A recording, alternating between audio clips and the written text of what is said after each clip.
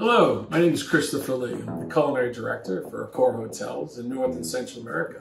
Coming here today live from my home um, in Miami Beach, Florida during these scary times. Um, I know a lot of you have been wondering what chefs are doing. Well, we're cooking. We're cooking a lot. Um, in this household, especially, you know, we've been doing the quarantine meals for the last three weeks, coming up with a different dinner every day. It's been great because we're educating our kids on, on the world of food. So we're gonna run through a couple of recipes today. Um, some of them are, are near dear to our hearts because we're from the Northeast, and you know, New England clam chowder is a big thing and part of our lives, and steamed mussels is one of my wife's favorites. And we're gonna serve it with corn on the cob, Bibb lettuce, and uh, some sourdough bread. All the ingredients that were purchased today were bought at the local Publix. First, we're gonna start with some olive oil. And we're gonna start to sweat the ingredients. So we're gonna first have onion, there's some fennel, celery, and carrots. And actually, we're also gonna add garlic. We're looking for a change some color in the vegetables, but the idea is no caramelization. So the other ingredients, we're gonna add a little bacon, you want that smoky pork flavor in the soup. We're gonna add some clams and the clam juice, our clam broth or stock. And we're gonna bring the heat up. We're also gonna add oregano and thyme at this stage.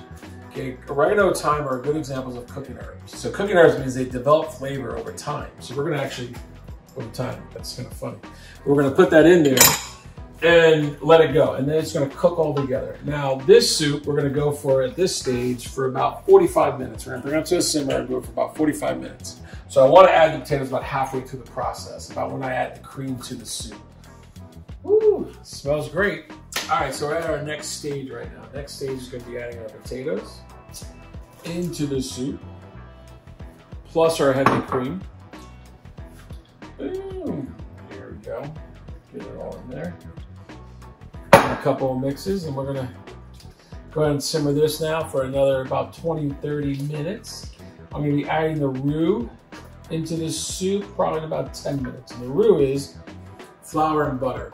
Once the butter's melted, we're gonna be adding the flour right into the butter and we're gonna make a paste. I like to temper my roux. Um, and this prevents roux balls. All right, here we go. We'll add that to the soup. And this will give us our really thick clam chowder that we're looking for. We're getting close there. We're, uh, we're actually maybe about five minutes away from serving, so I'm gonna finish the, the chowder. We don't have to add too much salt. We already tasted this, so we're just gonna add a little more. But important fact, we're gonna add some black pepper.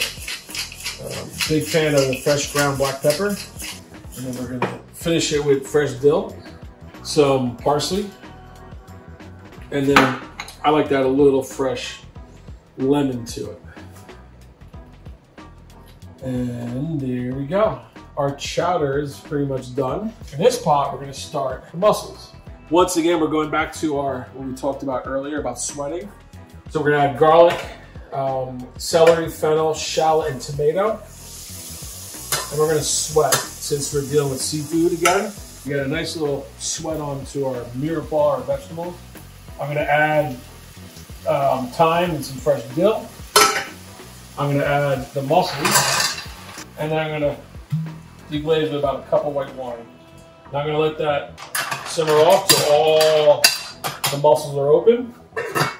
And we're pretty much good to go. We'll finish with a little butter, a little lemon, a little salt, a little pepper, maybe a little olive oil, and that's it. So we want to say thank you for joining us today um, as we enjoy our New England feast with New England clam chowder, steamed mussels, uh, corn, a little Bibb lettuce, and some fresh sourdough bread that we made yesterday. But thank you again, and I uh, look forward to seeing you soon.